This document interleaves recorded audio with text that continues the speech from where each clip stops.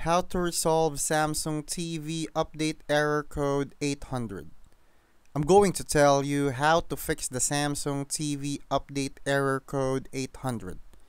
This error code is often caused by network issues or a failed update process. The first step is to power cycle your device. Unplug both your TV and router for 10 to 15 minutes, then reconnect the router first, followed by the TV. Next, check your network settings. Go to Settings, General, Network, and ensure your TV is connected to the Wi Fi or Ethernet. If the issue continues, try resetting your network settings from the same menu. If updates still won't install, consider a factory reset.